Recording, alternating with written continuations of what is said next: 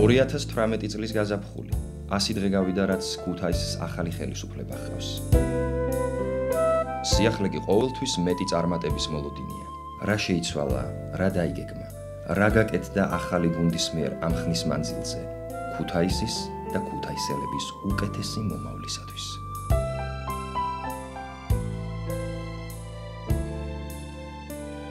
დღეს მე და ჩემი გუნდი მზად ვართ 100 დღის მუშაობის შედეგები გაგაცნოთ.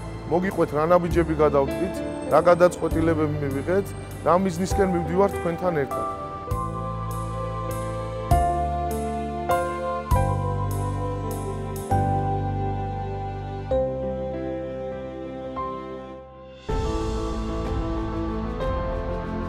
ჩვენი პირველი და მთავარი საზრუნავი სოციალურად დაუცველი მოქალაქეებია.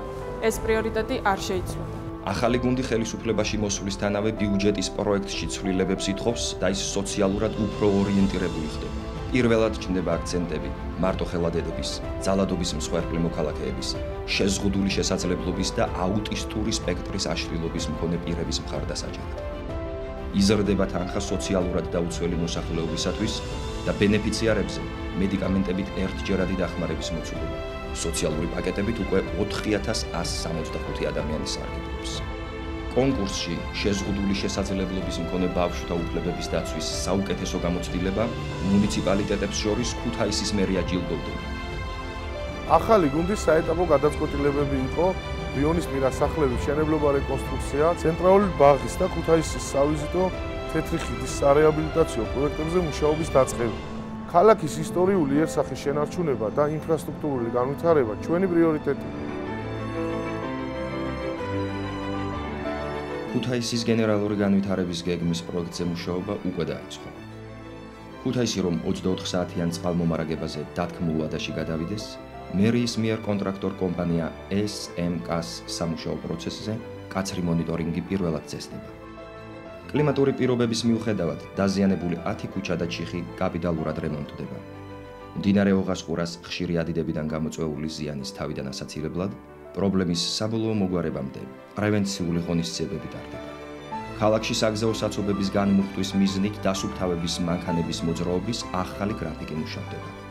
ზედამხედველობის სამსახური უნებართვო გარევაჭრობის აკრძალვის ღონისძიებებს ქალაქის ცენტრალური ნაწილიდან იწყებს და გარემოვაჭრებს ბაზრის ტერიტორიაზე ალტერნატიულ ადგილებს და მოსაკრებლისგან სამი თვით თავისუფლებას თავაზობს. ქალაქის მერის ინიციატივით არსებული დანაზოგებით თამარ მეფის ქუჩაზე 26 რეაბილიტირებული შენობა ნახდება. ჩაშლილი ტენდერების მიუხედავად ადგილობრივი ხელისუფლება ფორს-მაჟორულ სიტუაციაში ქალაქისათვის ახალ სახალხო ილუმინაციებს იწევს. ჩვენი გუნდის პოლიტიკას მკაფიოდ განსაზღვრავს ქუთაისის როგორც სახელოვნებო და სპორტული ტრადიციების მქონე ქალაქის ხასიათი.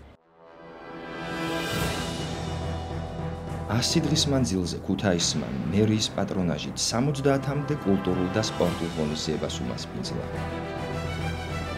მათ შორის რეზონანსულია მელიტონ ბალანჩივაძის სახელობის ახალგაზრდა მუსიკოს შემსრულებელთა მეორე ეროვნული კონკურსი, რომელშიც მონაწილეობა 100-ზე მეტმა ახალგაზრდამ მიიღო.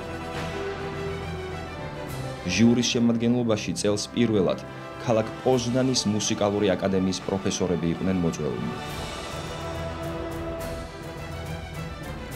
ქუთაისის მერის გიორგი ჭიღვარიას უშუალო მხარდაჭერით წელს პირველად მესხიშვილის თეატრი საქართველოს ფარგლებს გარეთ სარაევოში საერთაშორისო თეატრალურ ფესტივალზე გაემგზავრა სპექტაკლი დუპლეტი, რომელმაც პროფესიონალი თეატრალების მაღალი შეფასება მიიღო.